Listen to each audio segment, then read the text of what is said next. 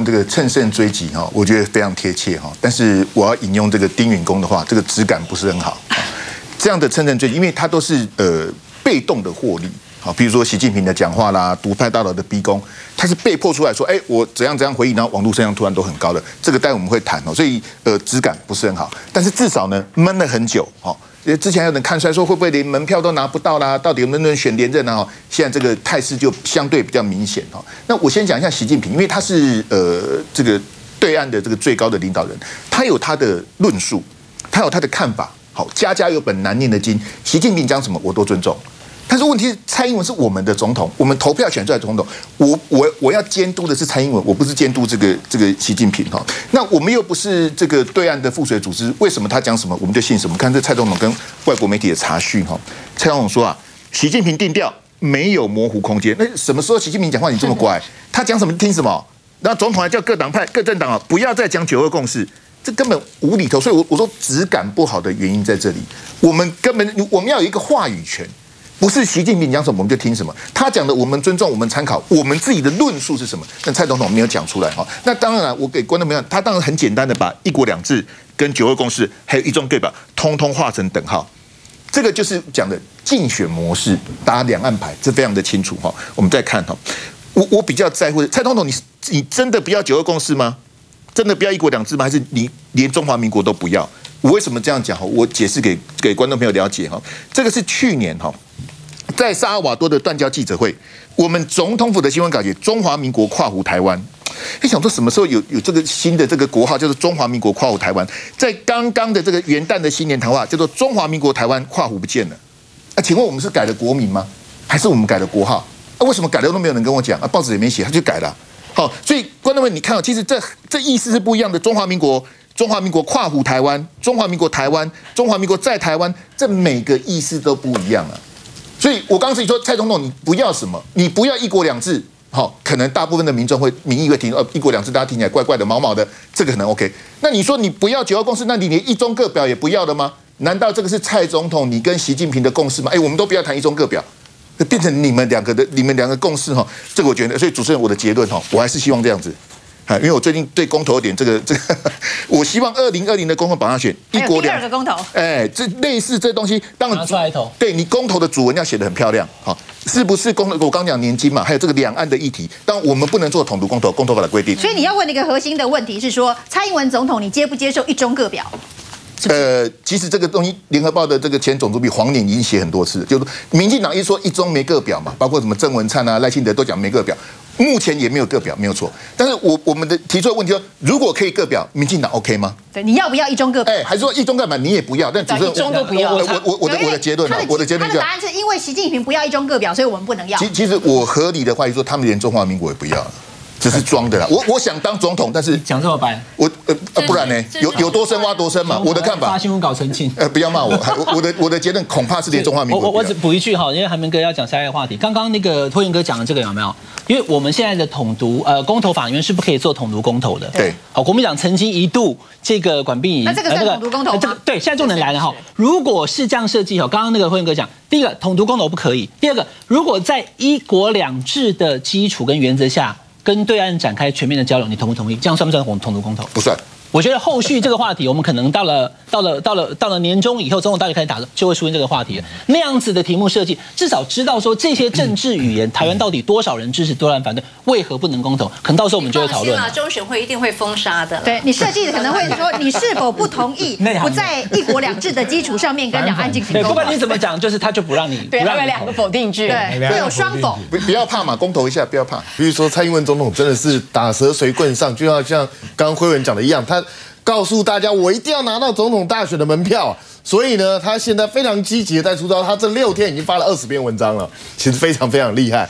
那他其实就是讲这句：台湾绝不会接受一国两制，绝大多数台湾民意也坚决反对一国两制。他又发出了一个新名词，这是台湾共识。反正台湾价值之前卖的不好，现在台湾价值不卖了，我们现在改卖台湾共识，就是这样的一个意思吗？那结果呢？这个一出来之后，果然受到非常大的好评哦，网络上一堆人帮他按赞。结果呢，他马上就推出所谓多国语言版本的反对一国两制，包括英文、西班牙文、日文、越南文、藏文、法文、俄文、泰文、波兰文。那他还要求说，网友你们愿意的话，也可以来自动来帮忙补充。那目前已经到了二十九种语言，那问题是现在已经有非语言版本了。有语言版的，比如说古文版的楔形文字版，这个苏美人也要看得懂在一起。那古埃及文字版，古埃及人也要来赞成我们反对。也要跳出来按赞。对，然后呢，皮卡丘版在动漫世界绝对不能差。现在这么多人要抓宝啊，抓这些东西。哎，皮卡丘版，你帮我们翻译一下好不好？这个这个皮卡皮卡皮卡皮卡，就这样子。这个我也很难翻译，这个只有皮卡丘才懂他在说什么。对，就讲这两个。我们被十万电击给电到了。然后呢，当然宠物啊，宠物也是我们的生活好伴侣，所以蔡想讲版也出来了。有喵喵喵的，对，喵喵啊，这些狗狗啊，全部都要懂。那有一个人呢，哎，就在这一波之中受创蛮深的。第一个是谁呢？第一个就是柯文哲。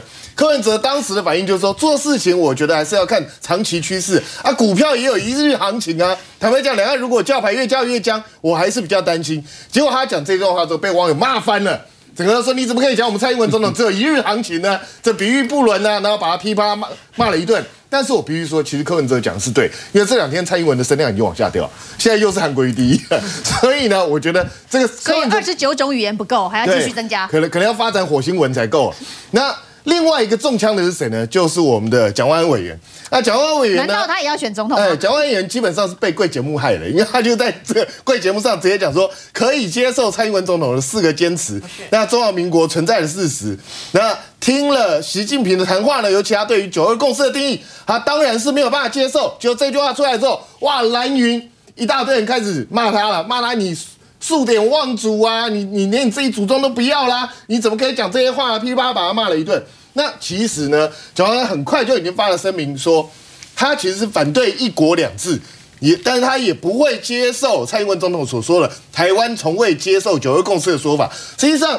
台湾怎么可能没有接受过九二共识呢？因为在马英九总统执政的八年，我们不是一直大家都是用九二共识来保持两岸之间的沟通的吗？所以呢，在这一波蔡英文上涨的趋势当中，柯文哲跟蒋万安都中枪，可是蔡英文的声势已经下跌，那他是不是能够再起呢？就看蔡英文再怎么出招了。把这个问题啊，我觉得要切开两个两个子题来讨论。九二共识是九二共识，一中各表是一中各表。好，很多人。不懂各各种文字去反对九二共识，好，我们可以预测，没有了九二共识，下面这几年是怎么过的？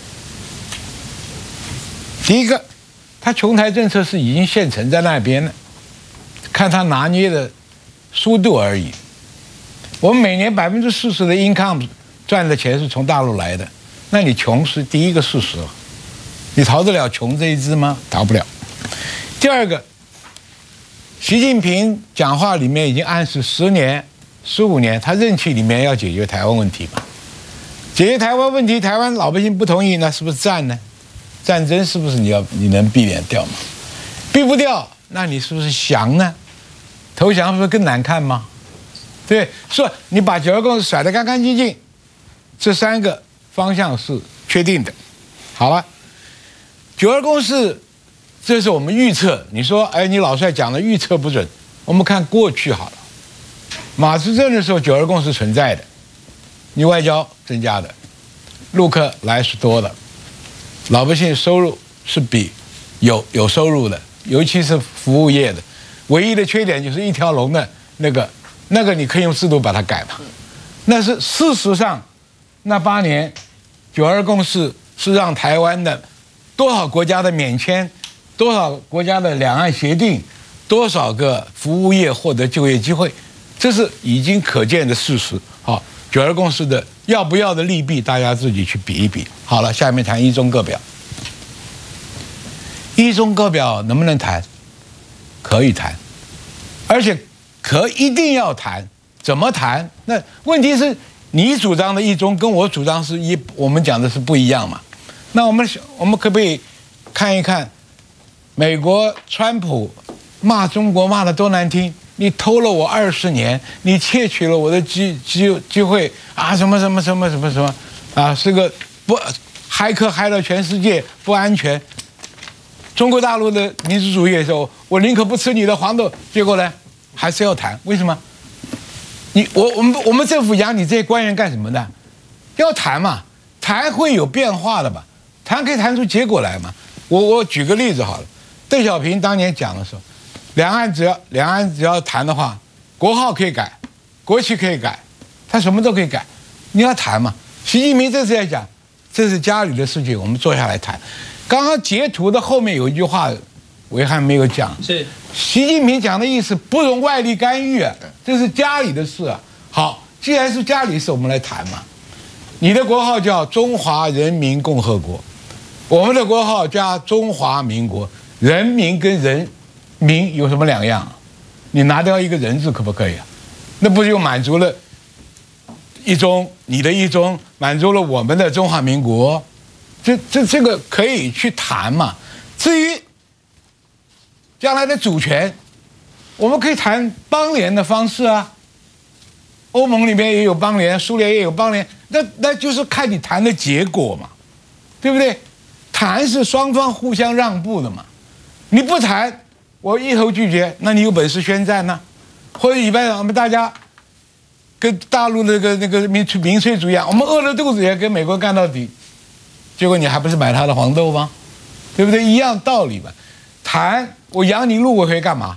养你海基会干什么？养你这个总统干什么？你跟大陆去谈嘛。既然他讲两岸事情什么都可以谈，对不对？那你不谈怎么会有结果呢？硬生生的把它推举掉，那就是我刚刚讲的三条路嘛：又穷，又有战争威胁，或者是被迫而降。谈还可以谈出一个对台湾两千三百万求生存、求发展、求繁荣的一条路嘛。哪里先养那个陈张张小月跟那个陈陈明通在那里月资高薪，那什么事都没有，养你干嘛？当然可以谈嘛，看你谈判的方式、谈判的主题，你要提出来，双方妥协嘛。你民进党不是一天到晚讲冲突、妥协在进步嘛？为什么不用到两岸问题上呢？我觉得不是不能谈，而且伟汉也讲了，今天讨台湾老百姓要不要接受九二共公投嘛？要不那一中会表用什么名词我们可以赞成的嘛？对不对？爱尔兰、苏格兰还有英格兰。他他还有他的国际地位，韩国也有两个在联合国里面都有票，对不对？那你中华民国好，你台湾民进党不反应，我再加个中华民一中华民国台湾，就又合为一中吧，对不对？问题是看你谈不谈，你这种拒而不谈，只有把台湾老百姓陷入痛苦万丈的深渊里面。你要去靠美国，美国能够给你什么实质的东西吗？武器也卖你一些陈腔烂烂货，也不建交，也不谈签协防协定，光是口惠而实不至，你能你能搞吗？你搞不出来嘛，你这条路走不出去嘛，对不对？假定说我们变成一个邦联，又可以拉到中国，又可以拉到美国，何乐不为呢？问题是看你的谈判技巧嘛。我告诉你，没有说大欺小就一定赢的哦。当年奥奥地利。梅特涅可以在战败国里面谈出他国家最好的条件哦，那你是不是个人才呢？你是不是有这个勇气去面对呢？这是我要问蔡英文政府的，对不对？你不要他妈光欺负老百姓，骗那些傻屌跟着你一起在喊喊到最后家破人亡，谁替你负责？没人替你负责。所以你要谈，至于谈的内容，你可以各表你的立场，争取你最大的福利。